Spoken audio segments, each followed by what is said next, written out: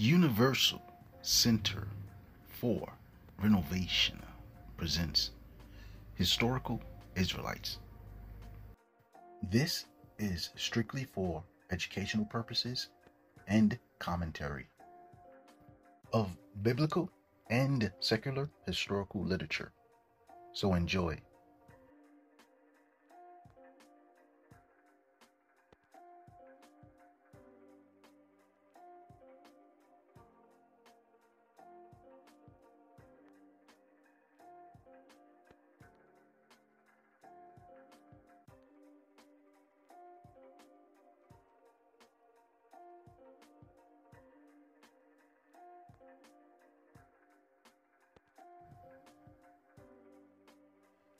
The lion versus the eagle.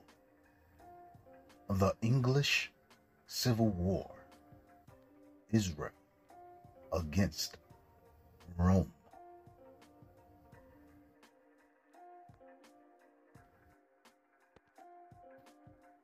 Ancient and modern Britons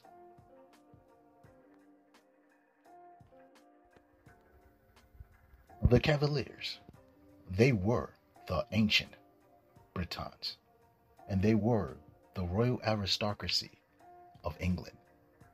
And the Roundheads, they were the commoners of England, and the modern Britons.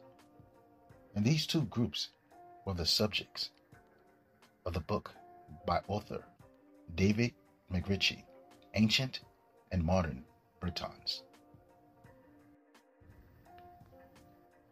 Therefore, when you have two kinds of people, the cavaliers, the aristocracy, and the roundheads, the commoners, the serfs, occupying one country for many centuries, England, the one living as peacefully as possible, serfs and farmers, encouraging industry and learning, they were unable to bear arms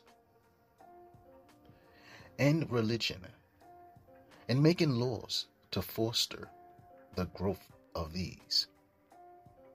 The other continuing generation after generation to rob and murder at every opportunity. The dynastic family feud of the aristocracy was killing them off. And when you know, as we do know with regard to Scotland, that the former party gained more and more the Roundheads, the commoners, the serfs. Century after century, the direction of the government of that country, they eventually gain the commoners, the Roundheads, gain the government of the country of England.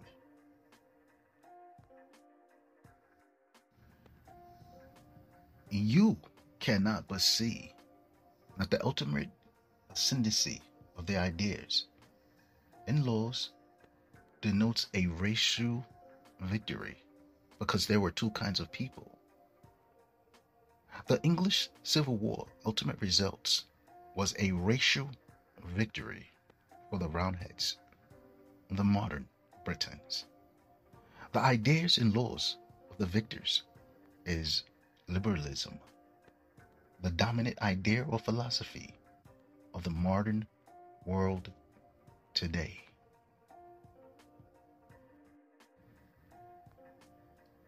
Two kinds of or different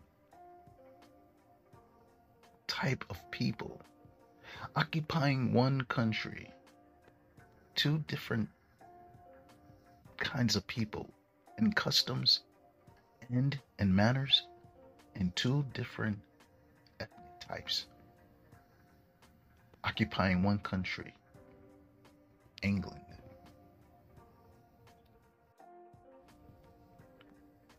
And they were also two types of social classes or groups the bourgeoisie and the aristocracy.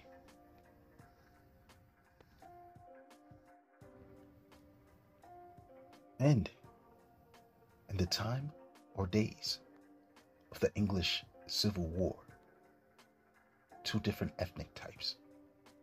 The Scots and the Romans.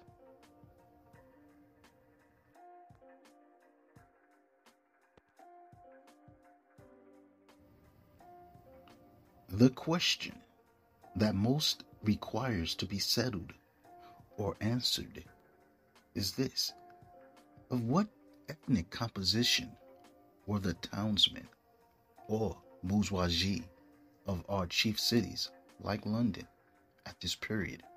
Villains, another name for serfs, we know were once serfs. Were these villains or serfs the descendants of early Britons of peaceful modes, farmers, or villagers? Or were they incoming traders or merchants of almost recent centuries? Or were they a blending of both? They were the children of invading and colonizing Romans. The question is of great importance because these villains or serfs are the people whose ideas are much more prevalent in this country today than the ideas of the ex nobility. Etymology Bourgeoisie. The modern French word bourgeoisie, derived from the Old French bourgeois or bourgeois, town dweller, which derived from bourg, market town, from the Old Frankish burg, town. In other European languages, the etymological derivation included the Middle English burgess, the Middle Dutch burger, the German burger, the modern English Burgess, the Spanish burgese, the Portuguese burgese, and the Polish bourgeoisia, which occasionally is synonymous with the intelligentsia. In the 18th century, before the French Revolution, 1789 to 1799, and the French Ancien regime, the masculine and feminine terms bourgeois and bourgeoisie identified the relatively rich men and women who were members of the urban and rural third estate, the common people, of the French realm, who violently disposed the absolute monarch of the Bourbon king, Louis XVI, who ruled 1774 to 1791, and violently disposed his clergy, or priest, and his aristocrats, or nobility, in the French Revolution of 1789 to 1799. Hence, since the 19th century, the term bourgeoisie usually is politically and sociologically synonymous with the ruling upper classes of a capitalist society. In English, the word bourgeoisie, as a term referring to French history, refers to a social class oriented to economic materialism. Materialism or material things are the chief goals in life, and hedonism, pleasure is the chief thing in life and to upholding the political and economic interests of the capitalist ruling class. Corporations are above government. Bourgeoisie, town dweller.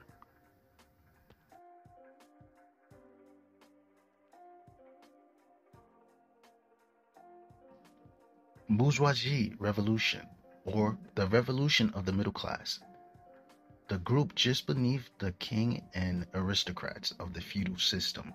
Bourgeoisie revolution is a term used in Marxist theory to refer to a social revolution that aims to destroy a feudal system or a system where the nobility and the kings rule, or its vestiges, or anything to do with that system anything to do with the customs and traditions of the aristocrats and nobility, and establish the rule or rulership of the bourgeoisie or the middle class, and create a bourgeoisie capitalist state. The Dutch, English, American, and French revolutions are considered the archetypical bourgeoisie revolutions. The Dutch, English, American, and French Revolution were revolutions of the middle class, in that they attempted to clear away the remnants or whatever was remaining of the nobility and aristocratic system of the medieval feudal system, so as to pave the way for the rise of capitalism or corporate above government. The term is usually used in contrast to proletarian. Proletarians were beneath the middle class, they were the labor class. The term is usually used in contrast to proletarian revolution and is also sometimes called a bourgeoisie democratic revolution. The Dutch, English, American, and French revolutionaries were the bourgeoisie, the middle class of Europe, who fought against the kings, aristocrats of Europe, who were Israelites. The bourgeoisie. The bourgeoisie is a class of business owners and merchants which emerged in the late Middle Ages, originally as a middle class between peasantry and aristocracy. They are traditionally contrasted with the proletariat by their wealth, political power, and education, as well as their access to and control of cultural and financial capital. They are sometimes divided into a petty a middle, a large, an upper, and ancient bourgeoisie, and collectively designated as the bourgeoisie. The middle class of the Middle Ages or the Dark Ages were the bourgeoisie. They stole the wealth, the lands, and intermarried with the aristocracy and stole their political power. Today, they are known as the 1%. The bourgeoisie, in its original sense, is intimately linked to the political ideology of liberalism and its existence within cities, recognized as such by their urban charter, municipal charters, town privileges, German town law, so there was no bourgeoisie apart from the citizenry of the cities. Rural peasants came under a different legal system. Many of the original bourgeoisies were serfs and villeins who escaped serfdom by running and fleeing into the cities where they received certain rights and privileges. The peasants of the Middle Ages came under a different legal system where certain rights and privileges were not given to them. So, liberalism is a sort of political philosophy of liberation or freedom from serfdom. The political ideology of the bourgeoisie is liberalism. Liberalism.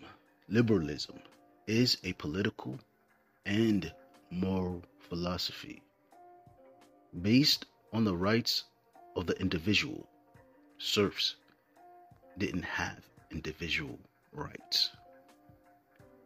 Liberty. Serfs did not have liberty. Consent of the governed. Serfs did not elect their leaders political equality, right to private property.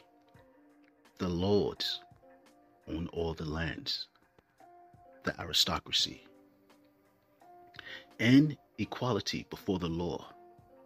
Liberals espouse various views depending on their understanding of these principles, but generally support private property. Serfs did not own private property. market economies, individual rights, including civil rights. Serfs did not have civil rights and human rights. Liberal democracy, secularism. You had to be a Catholic. Rule of law, economic and political freedom, freedom of speech, freedom of the press, freedom of assembly. The serfs did not have any of these. And freedom of religion, constitutional government, and privacy rights. Liberalism is frequently cited as the dominant ideology of modern history. The dominant modern political ideology of today is liberalism freedom from serfdom, freedom from the aristocracy and nobles. So, who were the bourgeoisie? This is the question that David MacRitchie is asking. The question that most requires to be settled is this Of what composition or ethnic composition were the townsmen or bourgeoisie of our chief cities, like London? Cities at this period and time of the English Civil War. Villains or serfs we know were once serfs. Were these villains the descendants of early Britons of peaceful mode, villagers or farmers? Or were they incoming traders or merchants of almost recent centuries? Or were they a blending of both? Who are these villains? Who are the bourgeoisie? The question is of great importance because they are the ruling class today. Because these villains are the people whose ideas, liberalism, are much more prevalent in this country, England, today, liberalism, than the ideas of the ex nobility. Who are the people, the bourgeoisie? Who were they, since they are the ruling class today? Who were they? Who are they?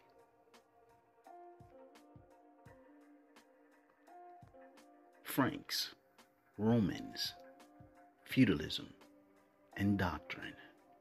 An interplay between theology and society by John S. Romanides, an Eastern Orthodox priest and scholar. Table of contents Number two, Roman revolutions and the rise of Frankish feudalism and doctrine. Romanides explains the rise of the Germanic Frankish kingdom of the Franks, feudalism, and territories that were formerly controlled by the Roman Empire. But the Romans fought back and initiated revolutions to fight back against the Germanic Frankish kingdoms. The Germanic Franks were, the nobility were Israelites. And number six, the Frankish counterattack. The answer to the Roman revolutions were to put the Romans in total serfdom. The Romans became villains or serfs in Europe and Britain in the Dark Ages. Romanides came to the conclusion that the Roman Empire was conquered in three stages. First, by Germanic tribes, who became known as Latin Christianity, or Roman Catholics, Franks, who were Israelites. Second, by Muslim Arabs. In two directions one from Spain, the Moors, the second from the Near East, under their prophet Muhammad, and finally by Muslim Turks or the Ottoman Empire.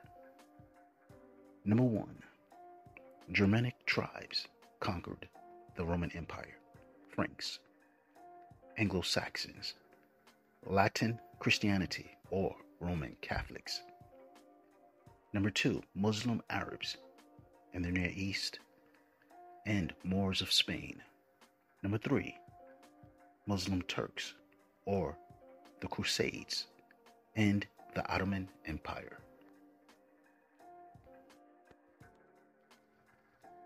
These are some of the lands of the Western Roman Empire. Number one, Britain. Number two, Germany. Number three, France. Number four, Spain. Number five, Portugal. Number six, Morocco. Number seven, Algeria. Number eight, Tunisia.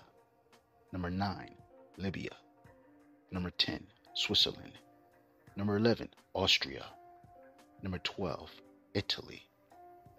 These were some of the lands colonized and conquered by the Romans, the Western Roman Empire. John Romanides, the Orthodox priest, continues. The reason for this is that the conquerors, the Franks, the Anglo Saxons, who were Israelites, the reason for this is that the conquerors of the West Romans, including the Britons, used the church, the Roman Catholic Church, to suppress the Roman nation. The conquerors of the Western Romans, including the Britons, who were Western Romans, used the Roman Catholic Church to control the Roman serfs, even the Roman serfs in Britain. This is the reason the bourgeoisie, who are the children of the Roman serfs, have deep seated hate for the Roman Catholic Church today. Protestant Christianity was their alternative choice because it's less restrictive to their world view. Carolingian feudalism, or slavery of the Romans under Charlemagne and the Franks, had its origin in the need to prevent the disaster which had overtaken the Visigoths in Spain. And that disaster was the Visigoths lost Spain to the Arabs and Moors because their Roman subjects helped the Moors and Arabs take over the cities of Spain. The Franks were obliged to develop and extend the already existing system of controlling the Roman slave populations. Their goal was to keep the Romans subjugated and pacified, first in Austrasia, which is Germany, and then Neustrasia, which is France and then elsewhere in Gaul, which is France, and finally in northern Italy, as circumstances permitted. Feudalism was established to control and subjugate the Romans in Europe and Britain. This is a map of the kingdom of Charlemagne, the kingdom of the Franks. And the red circles are Austrasia, which is Germany, and Neustrasia, which is France. These are some of the territories and lands where the Franks subjugated the Romans. This area, formerly part of the Western Roman Empire, became the territory of the Franks, and the Romans who lived in these areas became serfs, and villains.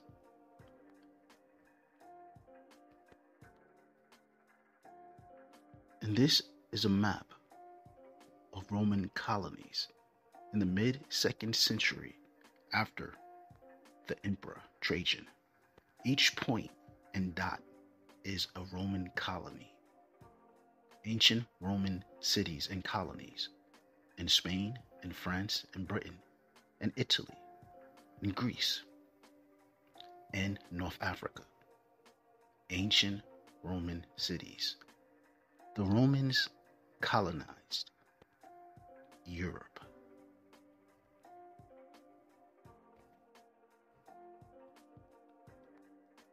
In that red area, Britain. Britain was a province of the Roman Empire.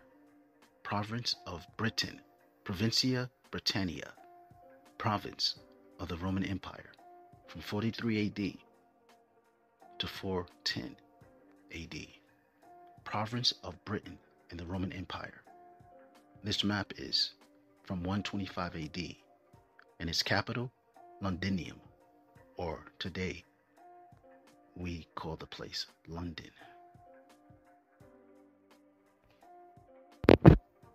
Now we are starting to get into the study of the ethnic composition of the bourgeoisie of England and Europe in the Middle Ages, the villains and the serfs, their ethnic composition, the question that David MacRitchie asked. This is from the Sydney Morning Herald by Nick Collins. They came, they saw, they procreated. Legacy of Britons, Latin lovers.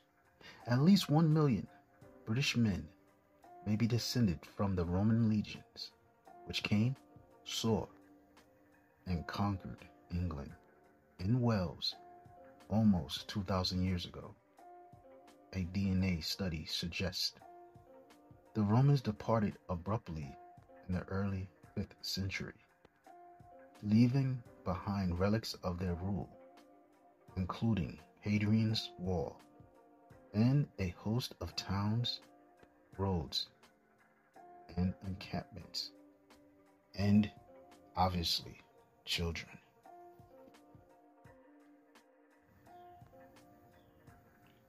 They came, they saw, they procreated. At least one million British men may be descended from the Roman legions that conquered the country of England. But perhaps the most enduring sign of their legacy is in the genes. The study says a genetic study of 5,000 people found up to 4 million men in England and Wales carry distinctive genetic signatures that are most commonly found and likely have their origin in Italy. Although impossible to prove whether an individual's genes were introduced during the Roman occupation, researchers estimate the influx of tens of thousands of soldiers were responsible for at least a quarter of the total. Following their arrival in AD 43, Romans are thought to have accounted for between 4% and 8% of all men in Britain, a much greater proportion than any other point in history.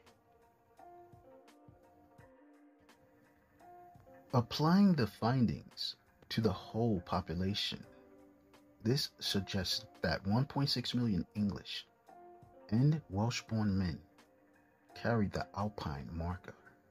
Although many of the lineages may have begun before or after the invasion, the researchers estimate that at least a million of the men are likely to be direct descendants of Romans.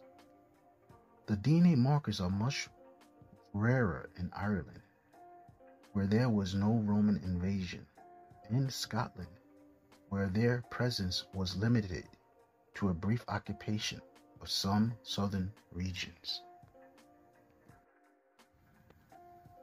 So at the time of the British or the English Civil War, the ruling class, the aristocracy, was the Scots. So let's take a look, a little look into the lineage of the Scots, like the Stuarts, King James, King Charles, King Charles I, King Charles II. In the Annals of the Caledonians, Picts and Scots, by Joseph Ritson, Volume 2, from Edinburgh. 1828. Likewise, of the Celts on their ethnic composition.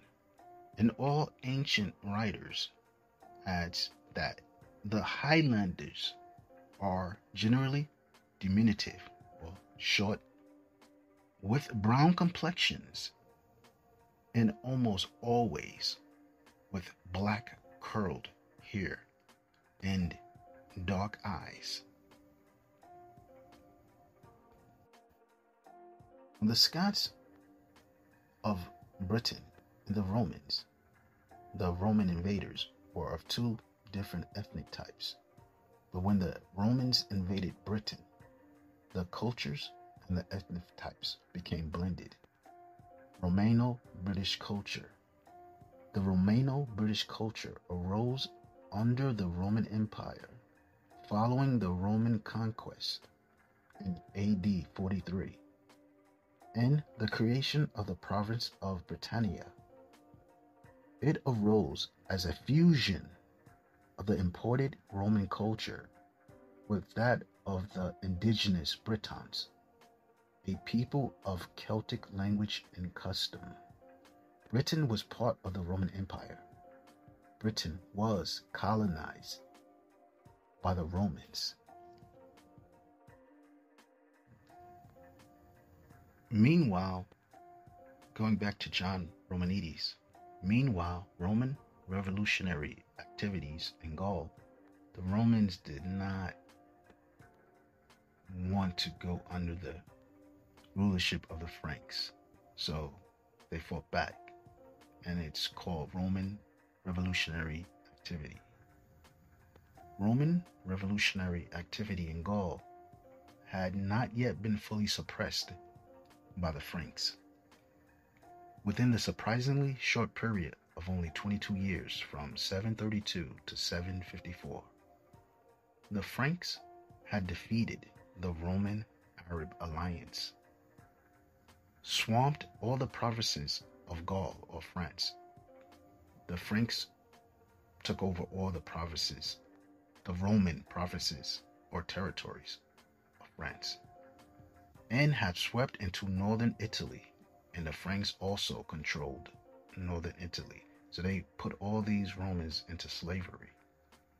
This was made possible by the new feudal order, which was first established in Austrasia and Neustrasia the Roman administrative units of the civitates were abolished. The Roman civil government was abolished by the Franks and replaced by military comitates or military encampments of the Franks. The former free Romans were transferred in mass from the cities of the Romans and were established on the slave labor camps called vele or mansai, villages or mansions alongside the other serfs. And the Romans at this point in time, they were called, the Romans at this time were called villains by the Franks, which means enemies of law and order because the Franks were Christians and the Romans at the time was also Christians. But the Romans made an alliance with Muslims and gave Spain to the Moors and Arabs. So the Franks were angry and called them, You are villains. You are enemies of law and order. The former free Romans were transferred in mass from the cities and were established on the slave labor camps called ville, villages, and mansais, or manors, alongside the serfs. They were called villains, a term which, for understandable reasons, came to mean enemies of law and order. The Visigoths in Spain were overthrown by the Romans. The Romans helped the Moors and Arabs, who opened the city gates to the Berbers and Arabs. The Franks reacted with determination to avoid the occurrence of the same in France. The Franks knew the Roman citizens would also help the Arabs and Moors take over France. The Franks reacted with determination to avoid the occurrence of the same in France, land of the Franks, by abolishing Roman urban society. They basically came to the conclusions that if they allowed the Romans to be free, they will also betray them in France, and the Arabs and Moors will extend their rulership into France. The Romans started revolutions to throw off the yoke of the Franks and other barbarian tribes with the aid of the Arabs and the Moors. So they were called villains and put on slave labor camps, villains, enemies of law and order.